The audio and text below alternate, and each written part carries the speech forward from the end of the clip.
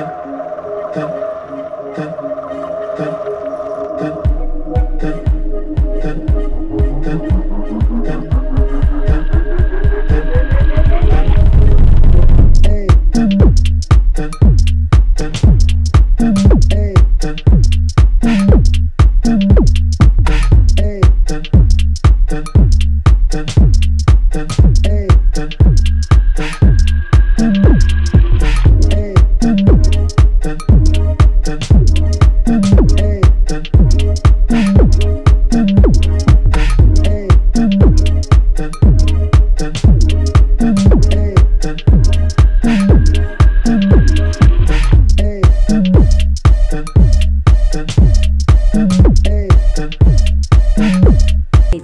These Ten Commandments tablet building measured 152.90 square meters. Yan, 1945.8 square feet in sponsored and organized by Grace Galendez. Ayan. Grace Galendez Gaba Gopana, the body of Hashua Hashmashi, Kingdom of Jerusalem, Hallelujah Foundation, International of Dominican Heritage Hill, Baguio City on August Ayan, on August 12, 2000 na-iris na in partnership of Honorable Mayor Mauricio Dumugan. Ayan guys, yung biggest Ten Commandments. Ayan.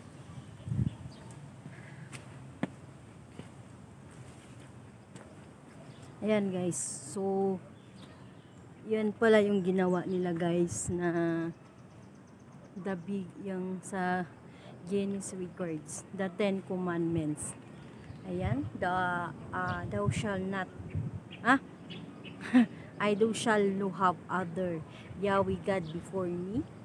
Thou shalt not make unto thy any graven image. Thou shalt not take the name of Yahweh God in vain. Remember to keep the Sabbaths holy. And number five, honor your father. Honor your father and mother. Number six, thou shalt not murder. Number seven, thou shalt not commit adultery. Number eight, thou shalt not steal. Number nine, thou shalt not bear false witness against your neighbor. Or number 10, thou shalt not covet. Ayan.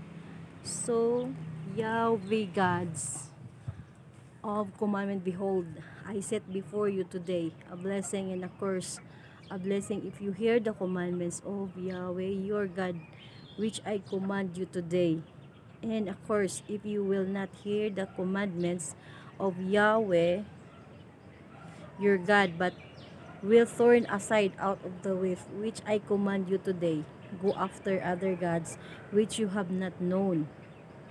Yan, obedience to the laws and commandments of Yahweh leads to physical order and prosperity of man in the land law has authority over a man only as long as he lives. Ayan, Romans 7 verse 1. And the, greatest commandments, Yalla Israel, Yahweh God is heart, soul, strength, yan, love your neighbor as you love yourself. So, that is the biggest commandments here in Baguio, um, located at Dominican. Yan. Yan lang yung Dominican, guys. Yan. Diyan lang yan. Tapos, di ba yung pumasok tayo, tapos nandito lang siya. Ayan. So, ito yung ano niya, yung paligid niya. So, nandyan lang yung ano, yan. Yan, ang ganda ng bulaklak guys, oh. So, yun lang guys. Yun pala yung, ano guys, dati nakita ko na to, kaya lang, alam mo na si Bisaya Kuday. Ay, wala, sarado pala dito. Ayan. Ayan, so, wala, abandon na rin to guys, o, tingnan mo.